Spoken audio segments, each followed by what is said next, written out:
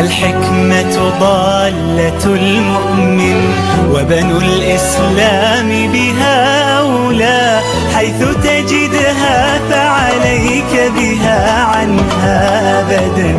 لا تتخلى. في القلب خواطر عن أمم في واقعها قيم مثلى. في القلب خواطر